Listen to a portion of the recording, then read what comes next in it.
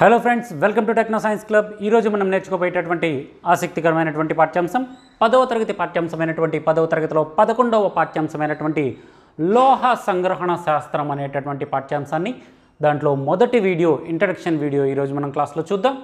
అసలు లోహం సంగ్రహణ శాస్త్రం అంటే ఏంటి అనేటటువంటి విషయాన్ని ఇంట్రడక్షన్ క్లాస్లో ఈరోజు మనం చూద్దాం. ఈ వీడియోను పూర్తిగా చూడండి. నచ్చినట్లయితే లైక్ చేయండి. మీ ఫ్రెండ్స్ అందరికీ షేర్ చేయండి. సబ్స్క్రైబ్ చేయడం మాత్రం మర్చిపోకండి. సబ్స్క్రైబ్ బటన్ పక్కనే ఒక గంట సింబల్ ఉంటుంది. ఆ గంట సింబల్ని ప్రెస్ చేయడం ద్వారా మన ఛానల్లో ఏ కొత్త వీడియో పెట్టినా కూడా వెంటనే మీ మొబైల్కి నోటిఫికేషన్ రూపంలో మన ఛానల్లో వీడియో పెట్టారు అనేటటువంటి ఇన్ఫర్మేషన్ అందుతుంది కాబట్టి please like share and subscribe let's go to the topic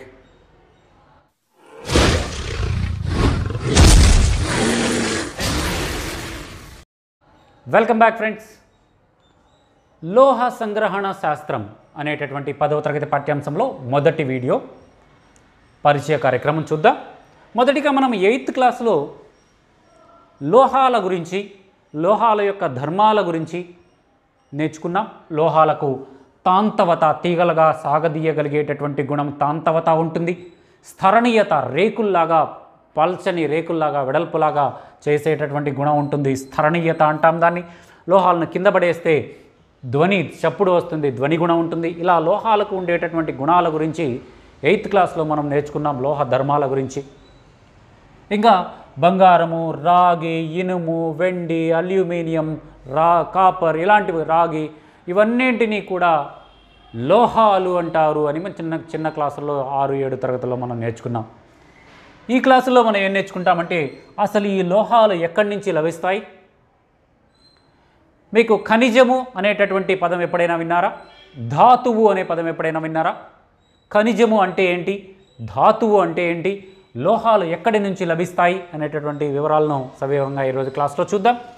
మొదటిగా అసలు ఈ లోహ సంగ్రహణ శాస్త్రము లోహ శాస్త్రము అంటే ప్రకృతిలో లభించేటటువంటి ధాతువు నుండి లోహాలను సంగ్రహించేటటువంటి వివిధ పద్ధతులను వివరించే శాస్త్రాన్నే లోహ శాస్త్రము అంటారు. మనకు పురాతన కాలం నుంచే ఈ లోహాలు అనేవి వినియోగంలో ఉన్నాయి. ఆది మానవుల కాలం నుంచి ఆది మానవుల కాలం తరువాత కాలమైనటువంటి లోహ యుగం నుంచి ఆది మానవుల తర్వాత కాలమైనటువంటి లోహ యుగం నుంచి లోహాలు అందుబాటులో ఉన్నాయి. అప్పటి నుంచి కూడా బంగారం వాడేవాళ్ళు వెండి వాడేవాళ్ళు రాగి కంచు ఇలాంటివన్నీ కూడా వాడేవాళ్ళు. కంచు ఇక్కడ కంచుని గమనిస్తే కంచు అనేది ఒక మిశ్రమ లోహం. దాన్ని రాగిని తగరాన్ని కలిపి తయారు చేస్తారు. కంచు అనేటటువంటి ఒక మిశ్రమ లోహం. ఇలా అనేక రకాల లోహాలను ఇనుము ఇనుమును ఉపయోగించి బరిసెలు అవన్నీ తయారు చేసేవాళ్ళు యుద్ధాలకు వెళ్ళేవాళ్ళు ఖడ్గాలు అవన్నీ తయారు చేసేవాళ్ళు. ఇలా లోహ యుగము నుంచే లోహాల యొక్క ప్రాముఖ్యత ఎంతో ఉంది. మనము కూడా ఇప్పుడు మన జీవితంలో కూడా లోహాల యొక్క ప్రాముఖ్యత చాలా ఉంది. లోహాలు లేని జీవితాన్ని మనం అనేక రకాల వస్తువులను అనేక రకాలుగా ఉపయోగిస్తూ ఉన్నాం. లోహాలతో తయారు చేసిన వస్తు వస్తువులను. ప్రస్తుతం లభ్యమయ్యేటటువంటి మూలకాలలో దాదాపు మొత్తం డెబ్బై ఐదు శాతం వరకు లోహ ధర్మాలు కలిగిన మూలకాలే ఉన్నాయి. మనకి పీరియాడిక్ టేబుల్లో గమనిస్తే ఆవర్తన పట్టికలో గమనిస్తే ఆవర్తన పట్టికలో ఎడమవైపు ఉన్నటువంటి మూలకాలన్నీ కూడా దాదాపుగా ఎడంవైపు సగానికి పైగా ఉన్న మూలకాలన్నీ కూడా లోహ ధర్మాలను కలిగి ఉంటాయి. ఎడంవైపు నుంచి కుడివైపుకి వెళ్ళే కొద్దీ లోహ ధర్మాలు తగ్గుతూ ఉంటాయి అని చెప్పాం. తగ్గేటప్పుడు మొత్తం మీద ఉన్నటువంటి లోహాలన్నింటిలో డెబ్బై ఐదు శాతం మూలకాలలో ఎక్కువ శాతం మూలకాలు డెబ్బై ఐదు శాతం మూలకాలు లోహ ధర్మాలను కలిగి ఉండే మూలకాలే ఉన్నాయి. ఇప్పటి వరకు మనం కనుక్కున్నటువంటి మూలకాలలో ఆవర్తన పట్టికలో. సరే లోహాల యొక్క ప్రధాన వనరు ఏంటి? లోహాలు ప్రధానంగా ఎక్కడి నుంచి లభిస్తుంది అంటే భూమి లోపల నుంచి లభిస్తాయి. మీ అందరికీ తెలుసది లోహాలు భూమి నుంచి లభిస్తాయి. ఎలా లభిస్తాయి? భూపటలంలో భూమి యొక్క పై పొర ఏదైతే ఉందో మీ అందరికీ తెలుసు నైన్త్ క్లాస్లో కూడా నేర్చుకున్నారు భూమి మూడు పొరలుగా ఉంటుంది భూపటలము భూ ప్రావారము భూ అంతర్భాగము అని. భూపటలము భూ పై పొర ఏదైతే ఉందో కొన్ని వందల కిలోమీటర్ల వరకు లోతుగా ఉన్నటువంటి భూ పటలం ఏదైతే ఉందో ఆ భూపటలంలోనే లభిస్తాయి లోహాలన్నీ దాదాపుగా. భూపటలం అనేది లోహాల యొక్క ప్రధాన వనరుగా చెప్తాము. అదేవిధంగా దీంట్లో రెండు రకాలైనటువంటి లోహాలు ఉంటాయి చర్యాశీలత ఎక్కువగా ఉన్న లోహాలు ఉంటాయి కొన్ని కొన్ని లోహాలు చర్యాశీలత తక్కువగా ఉంటాయి. ఏ లోహాలు అయితే చర్యాశీలత ఎక్కువగా ఉన్నటువంటి లోహాలు మనకి ప్రకృతిలో సంయోగ స్థితిలో లభిస్తూ ఉంటాయి. అంటే వేరే పదార్థంతో కలిసి లభిస్తూ ఉంటాయి. సల్ఫైడ్లతో కానీ లేదా ఆక్సిజన్లతో కానీ కార్బన్లతో కానీ ఇలాంటి వాటితో కలిసి లభిస్తూ ఉంటాయి. సంయోగ స్థితిలో లభిస్తూ ఉంటాయి. ఉదాహరణకి మెగ్నీషియం కానీ మెగ్నీషియం లోహం కానీ అల్యూమినియం లోహం కానీ కాపర్ లోహం కానీ కానీ ఇలాంటి లోహాలన్నీ కూడా సల్ఫైడ్లతో ఆక్సైడ్లతో ఇలాంటి వాటితో మిక్స్ అయ్యి కలిసిపోయి సంయోగ రూపంలో లభిస్తాయి. అలా సంయోగ రూపంలో లభించినటువంటి పదార్థాలను మనం తీసి వాటిని శుద్ధి చేసి వేరుపరిచి మనం లోహాలను పొందుతూ ఉంటాము. ఈ విధంగా చర్యాశీలత తక్కువగా ఉన్నటువంటి లోహాలను పరిశీలించినట్లయితే ఇవి స్వేచ్ఛా స్థితిలో ప్రకృతిలో లభిస్తూ ఉంటాయి. ఉదాహరణకి ఏ- ఏయు అంటే బంగారం కానీ ఆరం కానీ అల్యూమ్ ఏజీ అంటే సిల్వర్ వెండి కానీ ఇవన్నీ కూడా ఈ రెండు లోహాలు కూడా ఎక్కువ శాతం ప్లాటినం కూడా ప్లాటినం కానీ ఇలాంటి లోహాలన్నీ కూడా తక్కువ చర్యాశీలత ఉంటాయి కాబట్టి అవి ప్రకృతిలో స్వేచ్ఛా స్థితిలో లభిస్తూ ఉంటాయి అనే విషయాన్ని ఇక్కడ మనం గమనించాలి.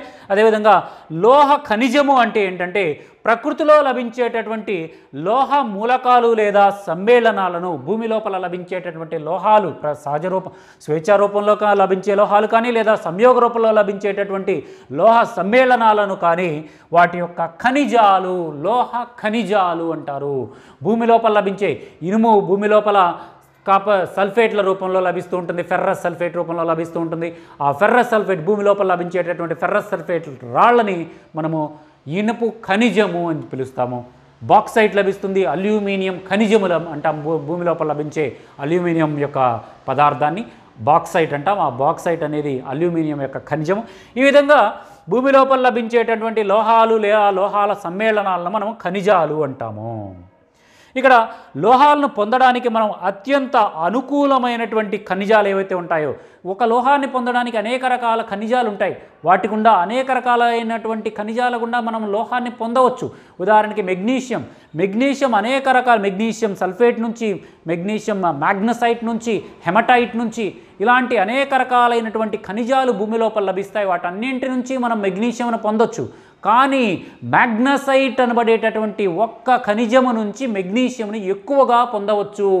అలాంటి ఖనిజాన్ని ఆ లోహము యొక్క ధాతువు అంటారు. ఏ లోహము యొక్క ఏ లోహాన్ని పొందడానికి అత్యంత అనుకూలంగా ఉన్నటువంటి ఖనిజము. ఆ ఖనిజము గుండా లోహాన్ని పొందితే ఎక్కువ లోహం అనేది మనం పొందవచ్చు. ఎక్కువ శాతం లోహం అనేది పొందవచ్చు. మిగతా చ మాలిన్యాలు తక్కువగా పోయి ఎక్కువ లోహాన్ని పొందగలము ఆ ఖనిజాన్ని ఆ లోహము యొక్క ధాతువు అంటారు. ఖనిజాలు ఎక్కువగా ఉండొచ్చు. రెండు మూడు ఖనిజాలు ఉండొచ్చు. కానీ దేని నుంచి అయితే ఎక్కువగా ఆ లోహాన్ని తీస్తారో దానిని ఆ లోహము యొక్క ధాతువు అంటారు. ధాతువు అంటే మరొకసారి లోహాన్ని పొందడానికి అత్యంత అనుకూలమైనటువంటి ఖనిజాలను ధాతువులు అంటారు. ఉదాహరణకి భూపటలంలో అల్యూమినియం విరివిగా లభిస్తుంది. ఇందాక మెగ్నీషియం లాగా అల్యూమినియం విరివిగా చాలా ఖనిజాల్లో లభిస్తుంది. కానీ బాక్సైట్ అనబడేటటువంటి ఒక ఖనిజం నుంచి అల్యూమినియంని ఎక్కువగా పొందవచ్చు మనం. కాబట్టి అల్యూమినియం యొక్క ధాతువు బాక్సైట్ అని మనం చెప్పవచ్చు. అదేవిధంగా మెగ్నీషియం గురించి కూడా ఇందాక మనం చెప్తాం. మెగ్నీషియంను పొందడానికి మ్యాగ్నసైట్ అనబడేటటువంటి ఖనిజాన్ని వాడుతూ ఉంటాం. దాన్ని దాని యొక్క ధాతువుగా చెప్తాం. ఈ విధంగా ఇంకొక విషయం ఏంటంటే ఇక్కడ పదహారవ గ్రూప్ ఏదైతే ఉందో అంటే చివరి గ్రూప్కి పద్దెనిమిదో గ్రూప్ పదిహేడో గ్రూప్ దానికి ముందు గ్రూప్ పదహారవ గ్రూప్ ఆక్సిజన్ గ్రూప్ అంటాం. ఈ ఆక్సిజన్ గ్రూప్ ఏదైతే ఉందో అది చాల్కోజనులు అంటారు వాటిని.